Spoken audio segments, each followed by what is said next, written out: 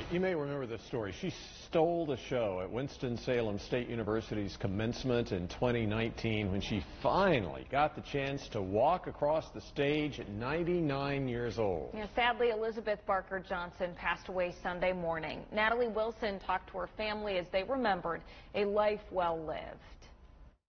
It's a painful loss for Elizabeth Johnson's family. And she is really going to be missing it. It really hurts right now. It really does because we really weren't expecting it. But there is some comfort in knowing that their beloved mother and grandmother's 100 years were full of impact. Messages that we received through Facebook, uh, text messages, it just it amazes me at how many people mama did touch.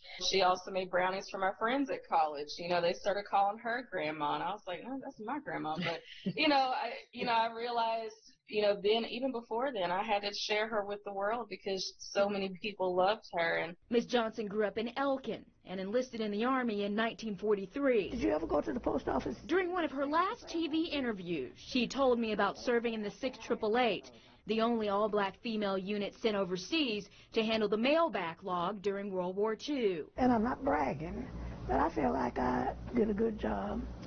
If you could have seen that mail room, all the mail backed up for the number of years it had been backed up. Miss Johnson was one of the last survivors of the 855-member battalion. And I'm glad that, uh, that my mother, their grandmother, was alive long enough to get to see some of that, just travel and to see some of that recognition.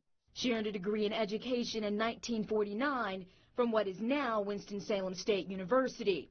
She immediately began teaching after graduation and couldn't attend commencement because her superintendent wouldn't let her go.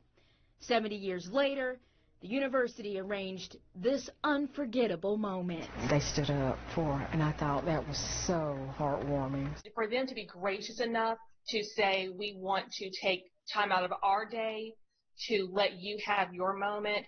Um, I am truly blown away. You know, we were out in the audience, we were cheering just loud, if not louder than everyone else out there. Um, so it was it was a very it was a very beautiful moment for our family. The last family get together was Miss Johnson's drive-through 100 birthday party in May. We had people that didn't even know her.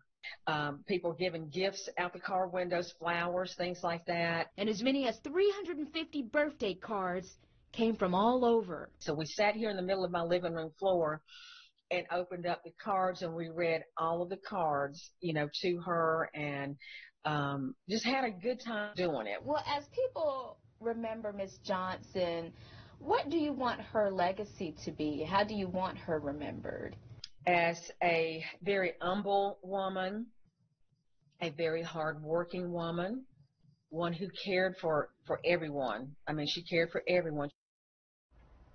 She lived a good life, didn't she? A funeral service for Miss Johnson is this Friday in Hickory. And in lieu of flowers, the family is accepting donations for the Elizabeth Johnson Scholarship Fund.